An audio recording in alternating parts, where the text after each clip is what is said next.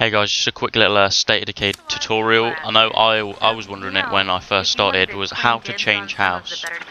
Uh, what you have to do is you have to wait until um, like a certain time and then they'll say, oh we're getting a bit cramped. And you'll go around searching for locations. Now there is one directly in the town where you start, just there, potential home site.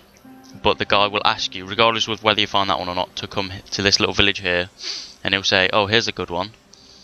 Uh, yeah, there's that one. Or there's a bigger one down the road, a, uh, a trucking warehouse, which has, like holds more people. I'm guessing.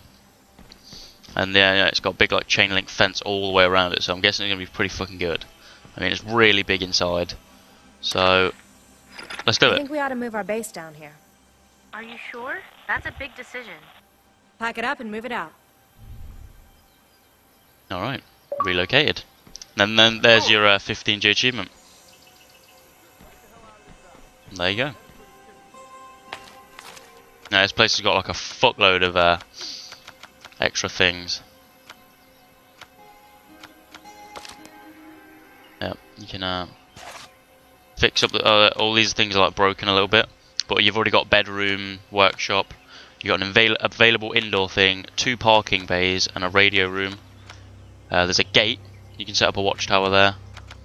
And then four more places, which is really good compared. Actually, there's four parking spaces, so. And this one, you can get a fuckload more uh, outposts in because it's that big. Alright, guys, that was it. Just a quick little one, just on how to get that achievement and how to move the house. Bye, guys. Subscribe for more. Um, I'll be with you with another state of decay really soon. Don't worry, guys. See ya.